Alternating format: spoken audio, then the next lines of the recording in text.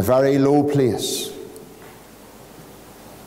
And you'll find him in Psalm 130, please. Psalm 130. You know, friend, tonight people are craving and people are crying out and wondering what's wrong with them. And the one thing they fail to realize tonight that the only answer that there is for their problems is the Lord Jesus. In Psalm 130, this is what we read. The psalmist says, Out of the depths have I cried unto thee, O Lord. Lord, hear my voice. Let thine ears be attentive to the voice of my supplications. If thou, Lord, shouldest mark iniquities, O Lord, who shall stand? But there is forgiveness with thee, that thou mayest be feared. I wait for the Lord, my soul doth wait, and in his word do I hope. My soul waiteth for the Lord, more than they that watch for the morning. I say, more than they that watch for the morning. That is real hope in the Lord. For with the Lord there is mercy, and with him is plenteous redemption, and he shall redeem Israel from all his iniquities. Amen. And we know that the Lord will add his blessing to that reading of his own precious truth. As I have said already when we begin Psalm 130, listening to the psalmist, we find the psalmist in a very deep place. We find him in deep distress. The first words he breathes are, Oh, out of the depths have I cried unto thee, O Lord. When we listen to the psalmist in the beginning of the psalm, you'll find not only is he in deep distress tonight, but the psalmist is in a dark place, and life is very difficult. You know, tonight that's where sometimes, sometimes God has to bring us to that place. Because it's when we're down in that place, and it's when life becomes difficult, and life is dark. Sometimes it's there where we begin to think about God. I was conducting a gospel mission in April, a tent mission for Koch Baptist Church. On the first Tuesday night of that mission, there was a young married mother. And on the Sunday prior to that meeting, in fact, it would have been the opening Sunday night of that mission.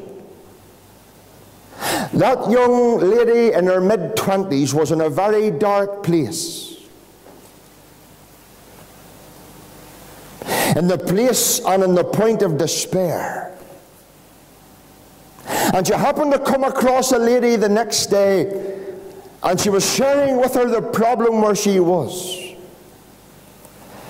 And her friend invited her to go to the mission. During the course of that mission, God spoke to that young lady, and in her testimony, because she was baptized back in September time, and she gave a word of testimony, and she said, In that tent that night, George McConnell, she said, spoke in such a way, she believed that I could see clean through her. Everything that was going on in her life, God revealed it to her. And God brought before her the real problem that was going on in her life. That night after the meeting was over, she required to speak to me. And after counseling that young lady, I had the joy of pointing her to the Lord. Do you know what she said? What was wrong with me in the nights leading up to that mission? God was troubling in me. The suffering that I was endured, enduring was the convicting power of God, the Holy Ghost, and I didn't know it, she says. Until that night, God spoke to her heart. Not only did she get saved, but on the closing night of the mission, the husband got saved. And both of them are going on with the Lord. Ah, but friends, I'll tell you this God had to bring her to a low place. It's powerful tonight how low sometimes God has to bring people to get people to listen. You know the Bible says about mankind tonight, men love darkness more than light because their deeds are evil. And Job 15 verse 16 says, He drinketh up iniquity just like water. You know, friends, man's heart is so dark. Man's heart is so wicked. Man's heart is so evil. Sometimes God has to do terrible things to get us to listen. And sometimes God has to do terrible things to get our attention. Because, friends, the human heart is so dark and so wicked. We don't want to listen to God. You know, there's people today live as if God doesn't exist. People live today and they die today thinking that there's no God to meet.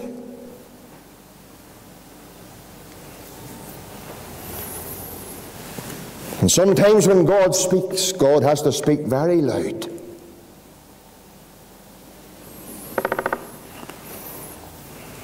You see, friends, this evening, what people don't realize tonight the devil has their minds blinded. You read 2 Corinthians 4 The God of this world hath blinded the minds of them which believe not. Do you know something? There's something the devil doesn't want you to see. Do you know what the devil doesn't want you to see today? The devil doesn't want you to see your sin. Because the devil knows things. You don't know this, but the devil knows that if you see your sin, your heart will be troubled.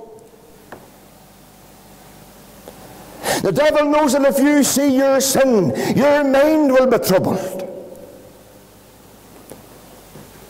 Because the devil knows tonight, if you see your sin,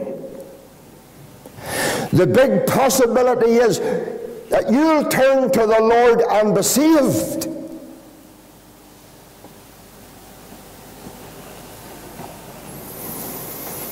You know, friend, men live today, and God is not in all their thoughts. The wicked through the pride of his countenance will not seek after God. But you know what happens?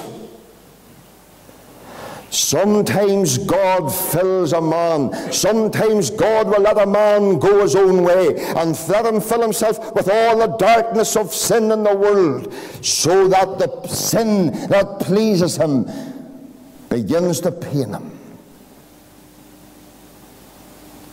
See in Psalm 130, here's a man and he's down. Here's a man and he's distressed. And here's a man tonight. The one thing that's on his mind is his sin.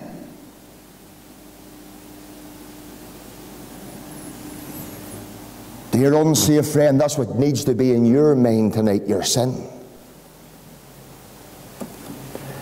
Your sin tonight is your greatest problem.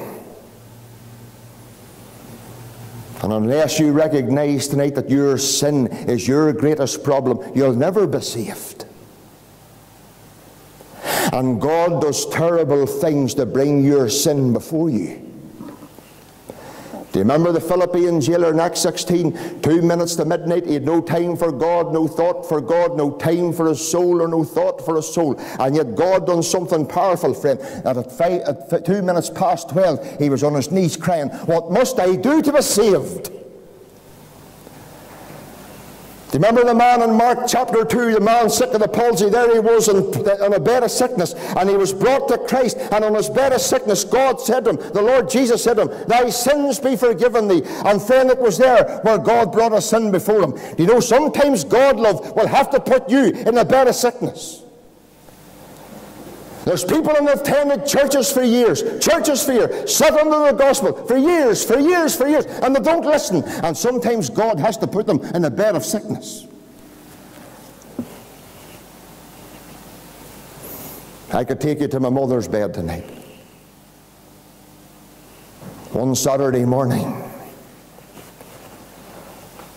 we thought she was dying. We believed she was dying. And I'll tell you this, she believed it herself, she was dying.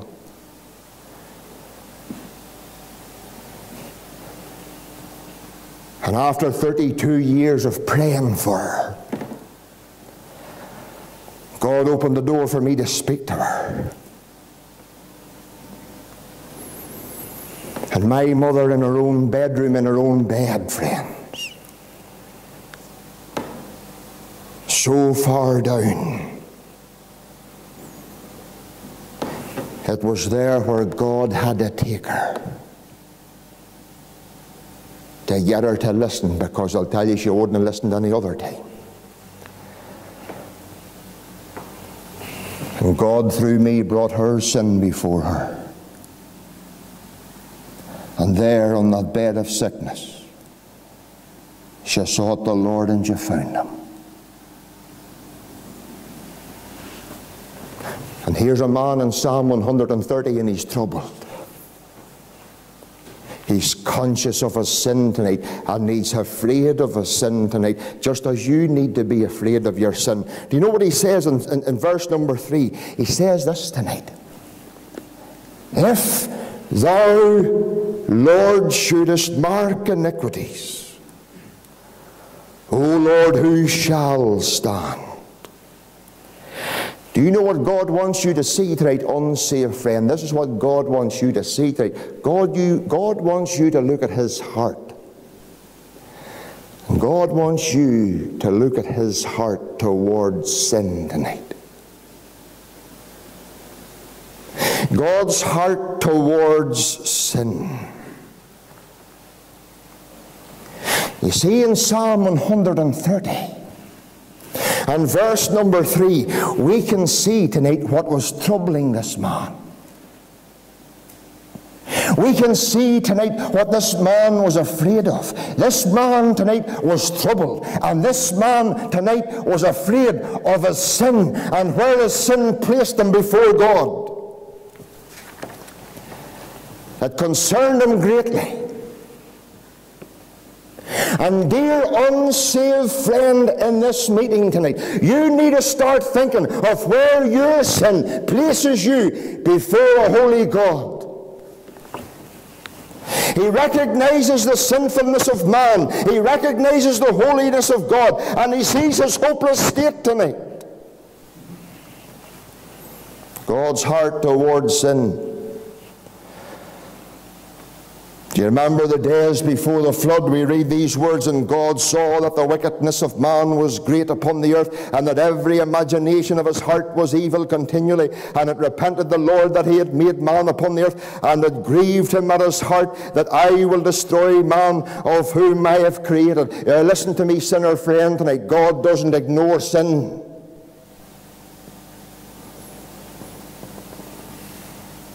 And God won't sweep sin under the carpet. God won't pass sin away like our governments do today. God punishes sin. And God hates sin. God despises sin. And friend, God sees the, the sin that's in your life. Listen to it. Don't you ignore this truth. It's Ecclesiastes 7 verse 20. There is not a just man upon the earth that doeth good and sinneth not. And listen to your own friend. God holds you to account tonight. God tonight is holding you to account concerning your sin. Every sin that you commit God's taking record of it. Imagine tonight, just imagine tonight. Imagine tonight you were to die. Imagine tonight you were killed going home in the car. Imagine tonight, imagine tonight this evening, going to bed and you just pass away without warning, without even a pain or you just die. And you die in that sin of yours.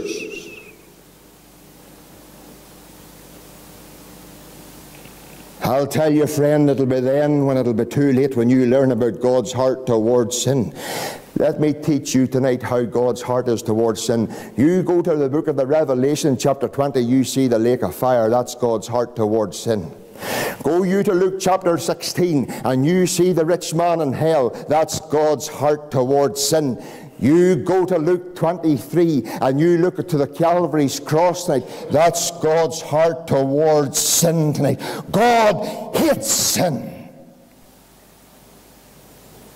And what we have to remember this evening is every one of us was born in sin and shapen in iniquity.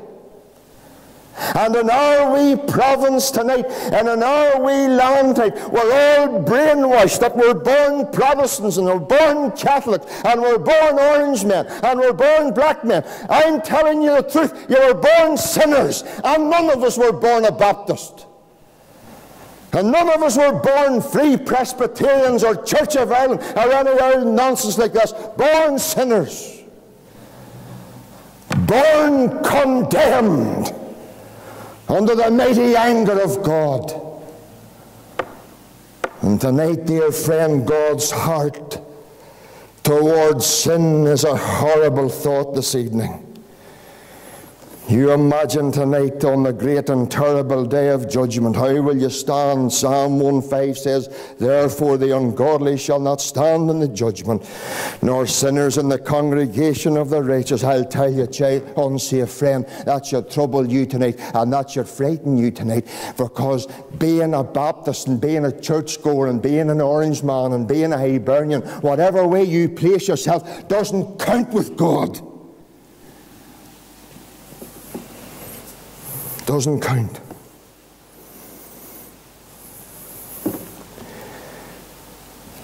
Think of the days of the flood. That's God's heart towards sin. Think of Sodom and Gomorrah tonight, God's heart towards sin. A Church of Ireland clergyman, a true Christian, told the story of a young lady who was a member of his congregation. A young lady that was born into a Christian home. She was one of three. Everyone in the family was saved but her. Many times she was brought under serious, serious conviction. Many nights she was troubled. Many a time her parents used to plead with her about coming to Christ. And persistently and persistently she refused to heed the admonitions that was addressed to her. He said, if any young lady knew the gospel, it was this young lady.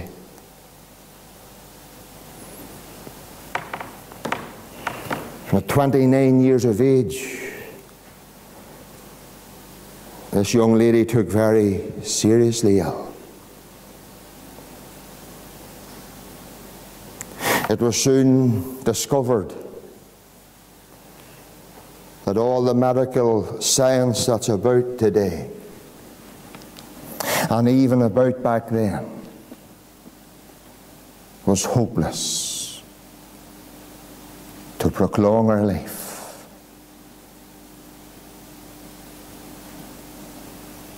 Even in that condition, her family pleaded with her.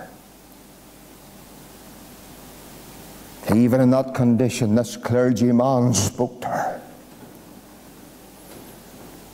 In this condition, everybody prayed for her. Time and time and time again, she kept refusing. Time and time again, friends.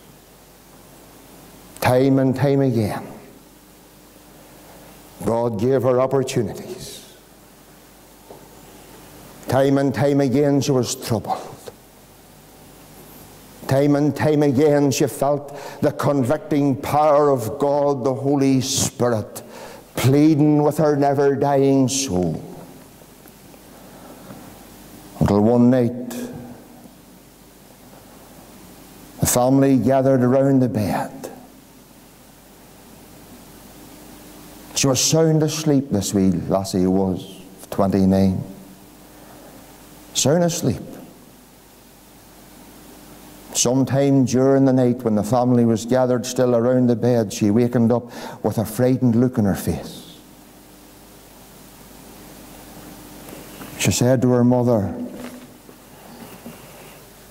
Mother, I've had a vivid dream, mother. What do you mean, dear? The mother says, Mummy, I've had a very vivid dream. And in fact, I feel a strange sense of a strange presence in this room.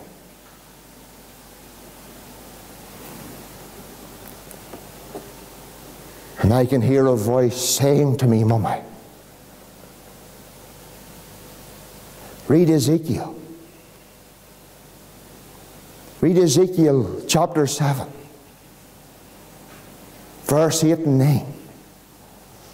Mummy, what does it say? That's what I hear this voice saying. Ezekiel 7, 8 and 9. Mummy, get the Bible. Get the Bible and, and read it to me. What does it say? What does it say, Mummy? The mummy got the Bible. And the mummy turned to Ezekiel. Turned to Ezekiel chapter 7. And began to read verse 8 and 9. And mind you, when the mother started to read, her voice began to break.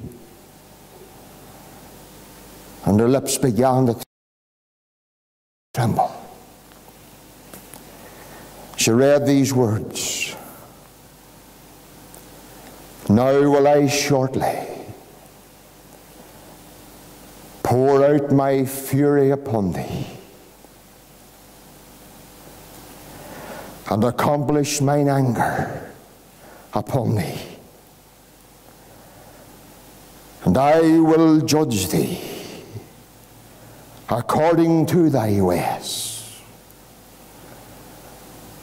and will recompense thee for all thine abominations. And mine eyes shall not spare, neither will I have pity. I will recompense thee according to thy ways. And thine abominations that are in the midst of thee and ye shall know that I am the Lord that smiteth. That young girl 29 years of age looked into her mother's face, and the mother saw, said that the horror that was on her face was terrible. It would have frightened you. She put her head on the pillow again. And within seconds, she was in eternity.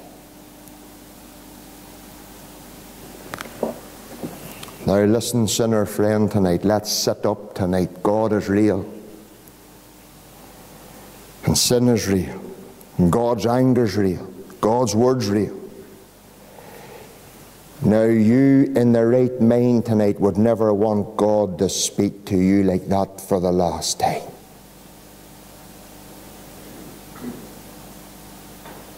And here's a young lady tonight, time and time and time and time again. God spoke to her and God troubled her about her sin, but she wouldn't listen. And God just took her.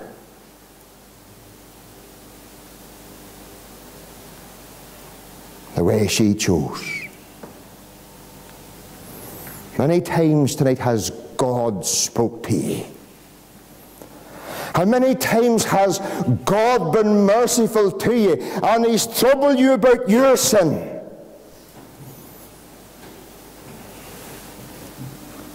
You might believe this tonight, my dear friend. God's heart towards sin is one of hatred, one of judgment. But there's something else he discovered tonight. Wasn't only God's heart towards sin, but God's heart towards sinners. In Psalm 130, and verse number four, this is what we read tonight. But, but there is forgiveness with thee, that thou mayest be feared. Thank God tonight that's God's heart towards sinners. And this psalmist saw at this moment, even though God's heart is one of hatred for sinner, sin, God's heart is one of hope for sinners. He could look into and look up this evening and see into the heart of God, God's heart for sinners. Friend, tonight, take a good look to the cross this evening and see God's heart for sinners. We read tonight in Romans 5 and 8, but God commended his love toward us in that while we were yet sinners, Christ died for us. When I look into God's heart tonight, I see God's hatred poured upon sin. But I see hope provided for the sinner. Listen, dear unsaved friend, do you know what you read in 2 Peter 3 and verse 9? God is not willing that any should perish, but that all should come to him in repentance. For I have no pleasure in the death of the wicked, saith the Lord, Ezekiel 18 and 3, 23. And friend, tonight, God loves you. In spite of what you've done, friend, God doesn't close his heart to sinners. This man receiveth sinners. The Lord Jesus Christ tonight is the one that God sent into this world to die for you because He loves you. You know, the Lord Jesus is the one this evening that is able to forgive you for your sin because there is forgiveness with Him. And during the Second World War, the Japanese captured 70 Scottish soldiers. Sent them to labour to build a bridge across what is known as the River Kwai. The way they treated them was terrible. Starved them, gave them very little water, and made them labour in the burning heat. One day the Japanese soldiers came along and started counting the shovels, and there should have been 30. One was missing. The German captors lined all these men up, the seven of them up, and one boy pulled a machine gun and was about to mow them down. One man stepped forward and says, Hey, it's my fault. I lost the shovel. The German or the Japanese captor, the man who was over these men, Do you know what he did? He took a shovel and he beat that man to a pulp and killed him.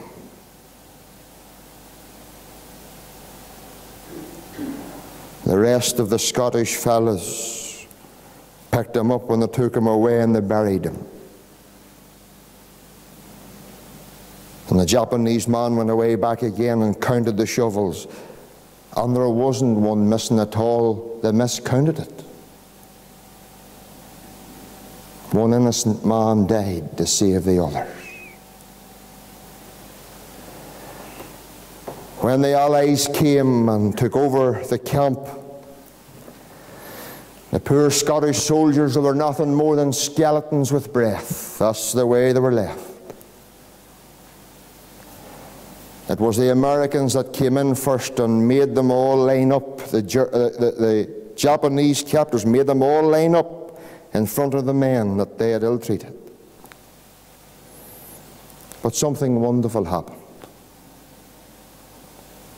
Those Scottish soldiers that these men treated so wickedly and evilly, this is what they said. We don't want any more death. We don't want any more pain. What we want to show is forgiveness. In spite of the way in which they treated us. And many of those Japanese soldiers were broken to tears when they saw the forgiveness of those who they ill treated. Every sinner that comes to Christ, in spite of what they've done, will always find there's forgiveness for them. Unsaved friend tonight, there is forgiveness for thee. If you come tonight and repent of your sin, you too will know that forgiveness. God's heart towards sin. God's heart towards sinners. Friend, I trust tonight you'll be and come to the Saviour and make no delay.